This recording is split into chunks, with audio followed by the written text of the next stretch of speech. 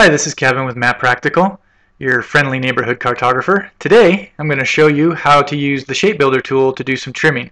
So this is a you know highly simulated GIS export, and all times you'll have lines uh, that, that stick out aside your your extent of your map that you would like to uh, display. So uh, in previous versions, there was no easy way really to trim this other than to select each one of these say streets and uh, snip them with the scissor tool. There was a third-party plugin that was really helpful for that, but it no longer works in CS5. However, uh, we, we do have an option in the Shape Builder tool. But first, uh, let's go ahead and just add some style to these lines so that it's easier to see what we're working with. Let's put this was the county line that came out. And then uh, let's do the lakes. Just give them a graphic style. And the streets select them all. And the reason I'm not selecting them inside of their uh, layer over here is when you apply graphic styles and you uh, assign it to the top level of the layer, it can cause some problems for editing later on. So I like to actual, actually assign it to each individual uh, item that's on the artboard.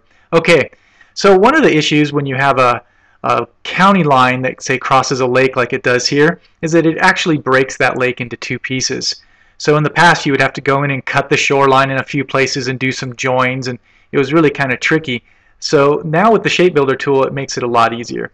So let's make sure that the lakes are selected, and um, grab the Shape Builder tool. Zoom in here.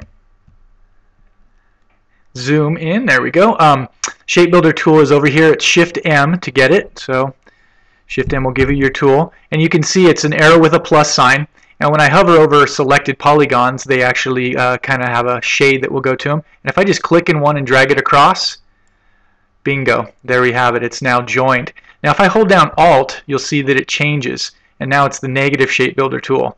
And I could drag that across to erase things, but if I go in this, uh, this little island here and click on it once, it just turned that into a little donut shape. And it cut it out so that now it's um, it's the island rising out of the water. All it did was create a compound path. So really, it's not that tricky. Okay, so we can also do it down here for these other lakes. Do Shift M again, just drag across, and there we have it. Now my lakes are joined.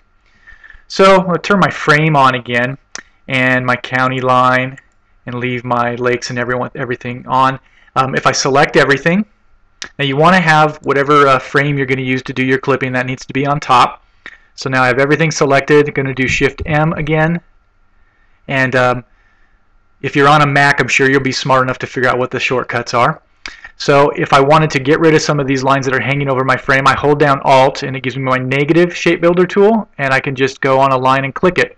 Let's see, like, uh, there we go. That got rid of my uh, county line there. It appears that streets is locked right now, so let's change that. Get everything selected. There we go. Okay, Shift M back to my uh, shape builder tool, Alt to give me the negative, and now I can get rid of each individual. Now, it's a lot of work if you have to go through and click on each line, especially if it was a really dense urban street network hanging over your map extent frame there.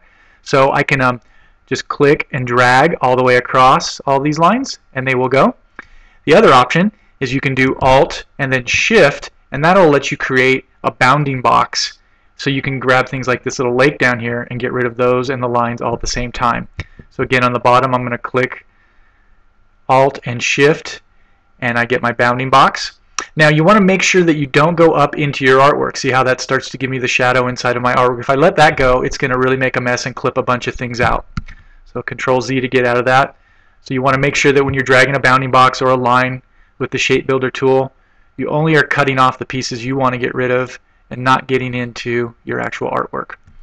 And there we have it, a nice clean trim that was really quick and easy. My lakes are joined. You can turn on a background and we have a clean map ready to go to add some style and some labels.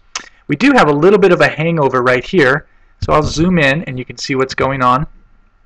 Go ahead and select these guys here. And this, uh, this node is hanging over, and sometimes the Shape Builder tool will have a problem uh, discerning between a polygon and a line. So you might have to go in and do a little cleanup. So I'll just go in with Shift M again and then do my Alt Shift and get rid of that little end.